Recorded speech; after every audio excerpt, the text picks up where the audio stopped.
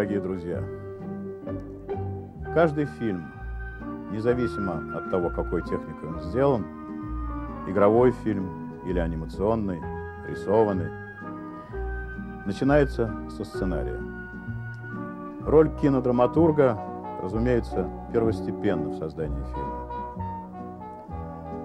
И мне очень приятно, что сегодня мы будем говорить об одном из самых знаменитых и известных кинодраматургов Танино Гуэра. Это итальянец, но жизнь его связана так или иначе с Россией. И творчество в первую очередь. Танино Гуэра работал в Италии э, в художественном кино. Работал он с замечательными итальянскими мастерами э, современного фильма. Он работал э, с Микеланджело Антониони, величайшим Федерико Феллини. И как-то так получилось, наверное, все-таки неминуемо, что Тонино Гуэра обратился в конце концов к анимации.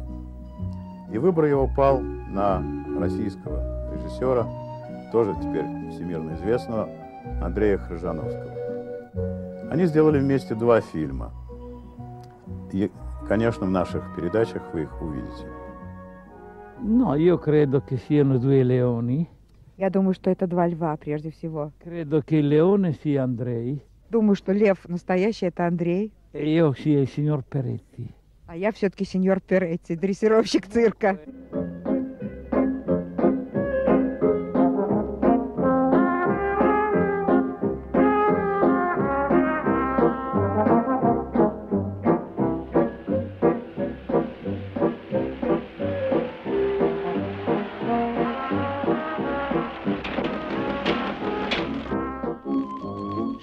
Уважаемая публика, сейчас Амедео по прозвищу Тео исполнит сложнейший трюк.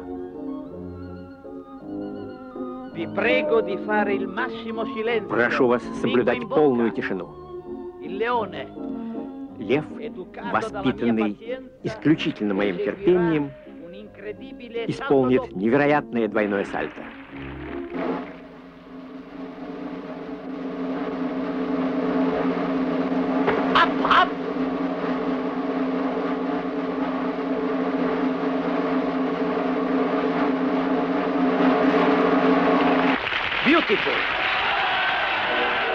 Scritto un giornalista inglese. Bravo!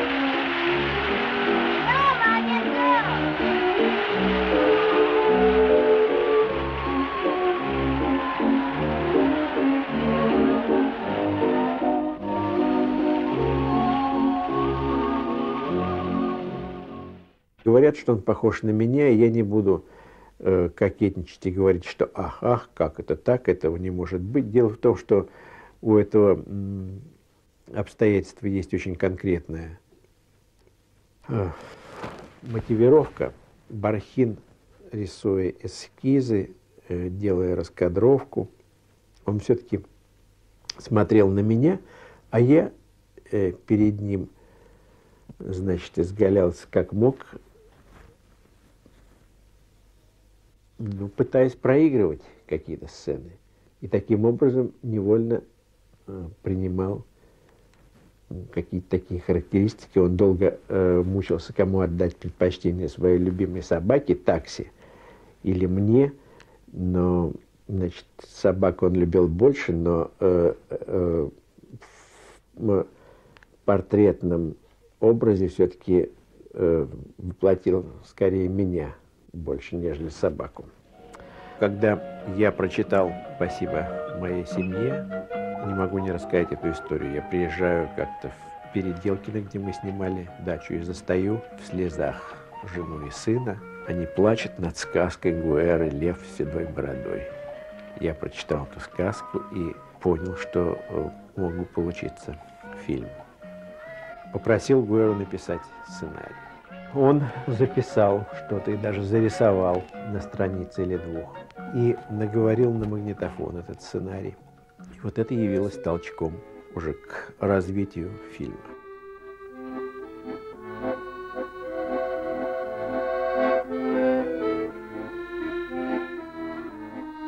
Вот в этом маленьком городке Пинобилле и живет Танина Гуэра.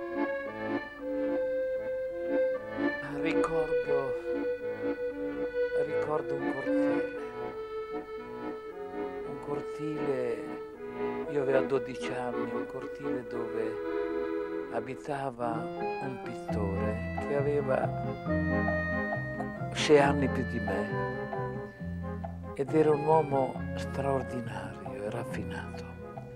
Я помню двор. Маленький двор. Мне тогда было 12 лет. И рядом жил один художник. Ему было на 6 лет больше, чем мне. Это был удивительный человек и очень тонкий. Pioveva Шел дождь. e piove anche adesso, quando ricordo. И сейчас тоже идет дождь, когда я вспоминаю. E questo amico mi faceva vedere come sotto il fico l'aria era verde. И этот друг мне впервые показал, как под инжиром воздух был зеленым. Mi indicava, mi indicava le orme che lasciavano le tre galline. Он мне показывал э, следы э, от трех куриц на мокром э, песке, на мокрой земле, Ho capito, ho capito molto dopo che c'era tutta un'atmosfera orientale. И много времени потом я понял, что это была совершенно атмосфера Востока. Следы куриц, как иероглифы, зеленый così- воздух под инжиром. Танина продолжает свой рассказ. И тогда я начал писать. Первая сказка была о пауке. Паук влюбился в светлячка. Он все время ждал этого светлячка. И вдруг однажды он увидел луну, которая взошла на небо, и он подумал, что это и есть его светлячок. Луна отразилась в маленьком колодце. Паук бросился туда и погиб. Это была первая сказка Танина.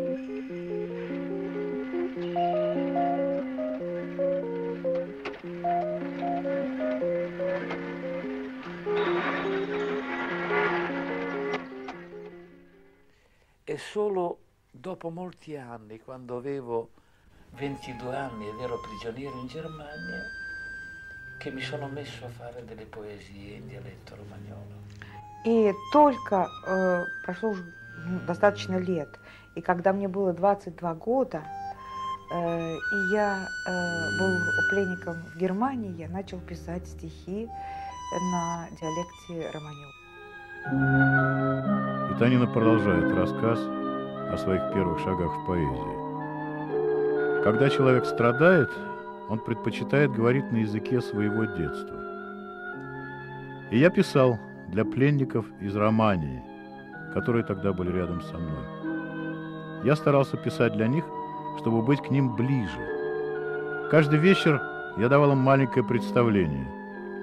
Я читал им стихи, которые придумывал и запоминал.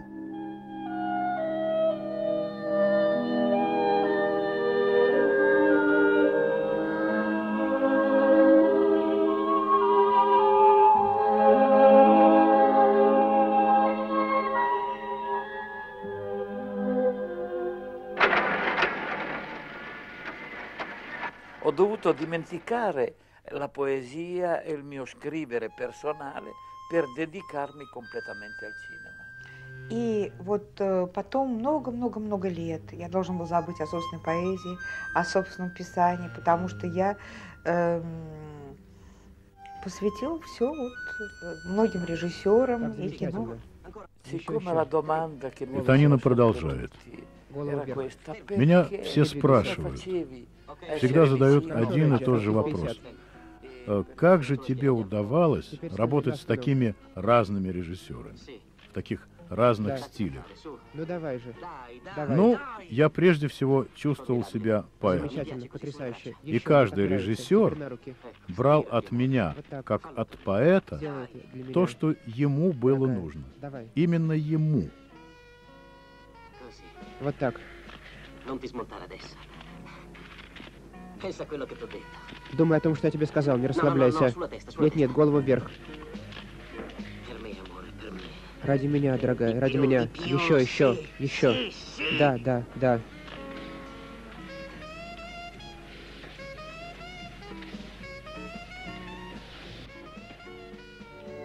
Когда Танина Гуэра работал с Андреем Тарковским над сценарием фильма «Ностальгия», они как-то на 13-м километре под Римом в одном из ресторанов обедали. И тогда бывший с ними Федерико Феллини спросил Андрея Тарковского, «Как тебе работает со Станина?» Тарковский ответил, «Он поэт, мне с ним легко». Феллини улыбнулся и сказал, «Это должен был первым сказать я». Танина продолжает.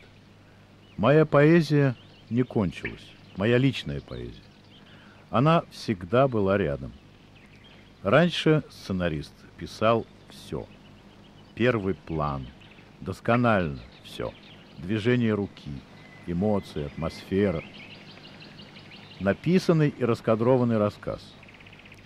Как-то я остановился у окна в доме, где жили Феллини и Тарковский. Я смотрел на внутренний дворик, на стены этого внутреннего дворика, и вдруг увидел, как эту стену как будто кто-то стал грязным пальцем пачкать. Это показалось мне странным. Откуда эти пятна стали появляться? Это длилось всего одно мгновение, потому что потом хлынул дождь, а то были первые знаки этого дождя. Вот так с дождя мог начаться фильм.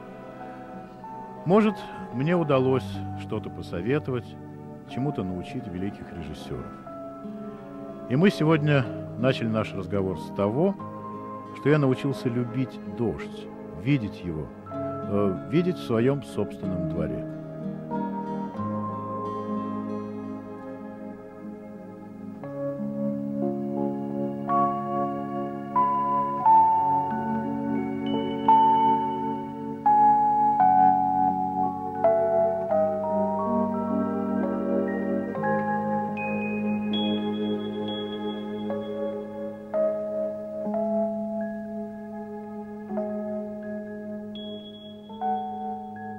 Сейчас в кадре вы видите человека, скрестившего руки на груди. Это Марк Лиховецкий, зачинатель нашей передачи, режиссер нашей передачи. К сожалению, его уже нет с нами.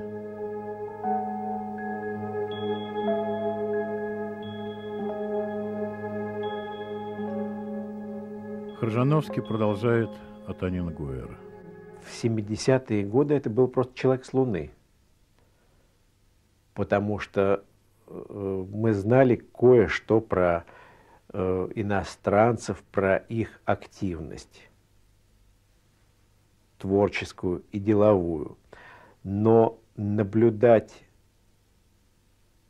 в жизни человека, у которого ни одна секунда не проходит впустую, и она, э, это, эти секунды растрачиваются не на какие-то, так сказать, меркантильные вещи, э, просчитанные э, в уме, а просто является единственно возможной формой существования. Когда полгода назад мы ехали в Киев, чтобы отправиться в путешествие по Днепру, пограничники нас высадили в станции Конотоп. Семейство Гуэры, их итальянских друзей, и я, естественно, разделил с ними добровольно эту участь. И, конечно, это было очень неприятно. Это все происходило в 5 утра. Мы оказались в каком-то зачуханном, просто, ну, до неприличия, то ли сарае, то ли бараки. И все как-то были растеряны и подавлены, все, кроме Гуэры, который тут же достал блокнот, карандаш и стал работать. Вы видели рисунки Танины Гуэры, в которых он использует фольклорные мотивы. А вот и мебель, сделанная по его эскизам. Вот что он сам говорит об этой необычной мебели. Хочу дать этой мебели ощущение того, что ее делали крестьянские руки с большим опытом, с большой любовью. Хочу, чтобы, глядя на эту мебель, каждому казалось, что он сделал ее сам. И чтобы была загадка, как же эта мебель открывается. Чтобы была тайна, маленький секрет. А это самые первые рисунки Танина, еще университетские. Это сатирические рисунки, иллюстрации к известным изречениям и цитатам. Э, вот, например, «Возьми кольцо, тебе дарю». Э, вот такой мягкий, гуманный юношеский юмор. Когда Танина переехал в один из старинных городков, он начал думать о том, что он может сделать для этой долины. Первое, что он сделал, это сад забытых фруктов. Там собраны фрукты, надеюсь, живые, которые исчезают с лица земли. Ему хотелось бы, по его словам, через запах, вкус найти прошлое. Он сделал много всяких вещей, э, фонтаны, один как ковер летит над водой. Он настоял на том, чтобы восстановили церковь, которая стоит на скале. Теперь все это действительно как спектакль. Врата сделал ведущий итальянский скульптор. Он сделал такую дверь, которая собирает все закаты. А вот керамические иконки, которые друзья ему прислали со всего мира.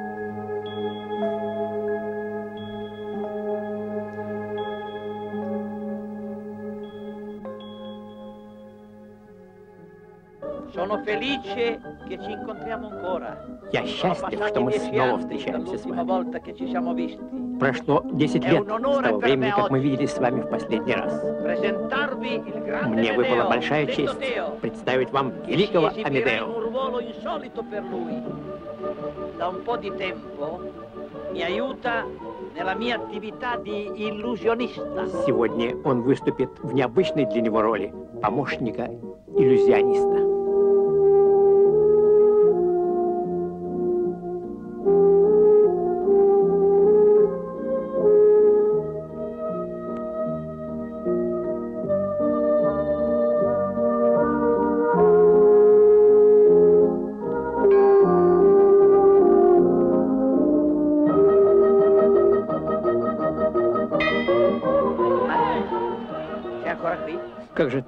еще здесь? fare? Ты что, забыл, что ты должен делать? Повторить.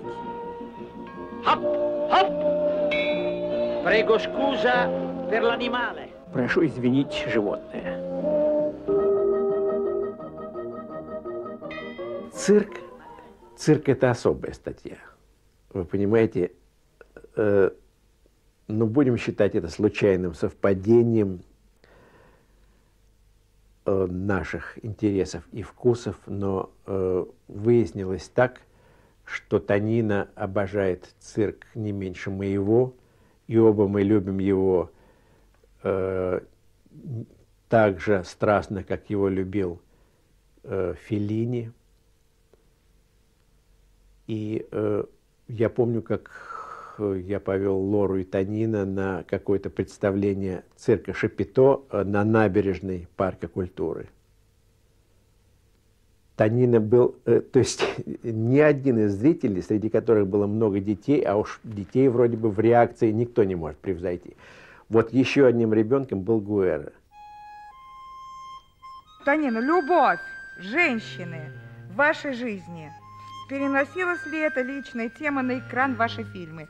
L'amore, donne nelle vostre vite e questi temi sono entrati nel cinema o no? No, no, io, io- no, no, scusate, penso, ma poca roba. Ma- Любовь женщины, пока роба. No, nel cinema. Я, я, слушай, я забил. Non, правда, я забил.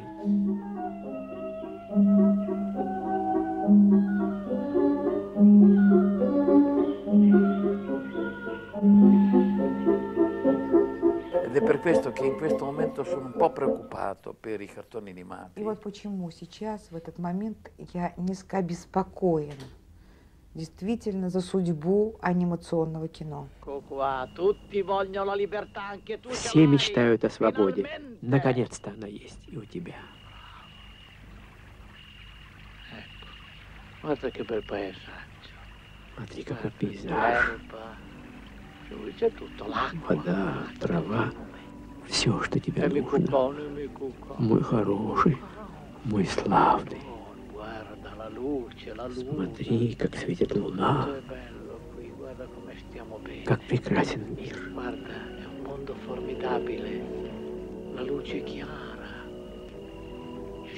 Как хорошо. Тишина.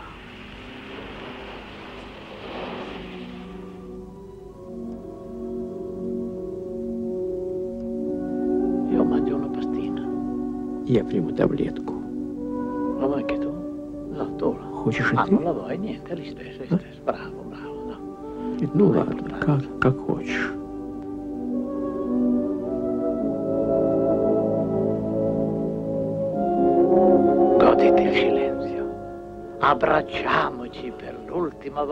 Обнимемся в последний раз. amico, 25 anni d'amore. После стольких лет любви.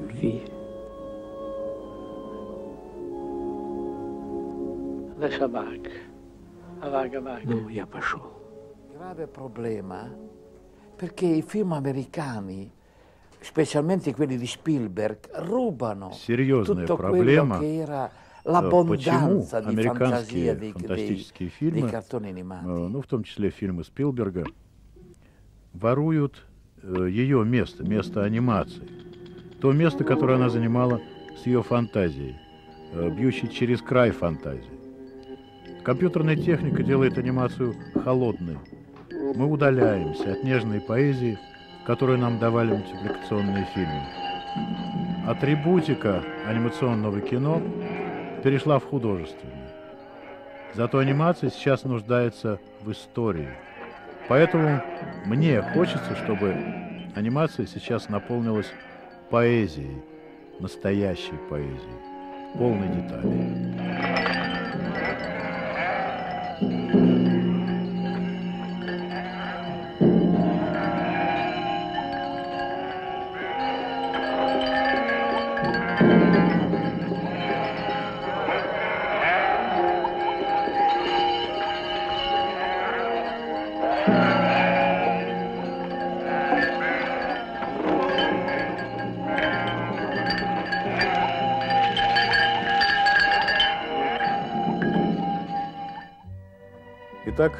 Наша первая встреча с Танино Гуэрой состоялась. Intanto io sono un uomo che non faccio molta differenza tra l'uomo e un cane fedele. Non faccio molta differenza, ho una grande tenerezza, anche per le foglie. Должен сказать, что я как человек никогда не делаю большой разницы между человеком и верной собакой. Э, Нежность же испытываю и к листьям, которые падают. В следующей нашей программе вы увидите фильм Танина Гуэра и Андрея Хажановского, снятый по рисункам Феллини. Ну что ж, до скорой приятной встречи. До свидания.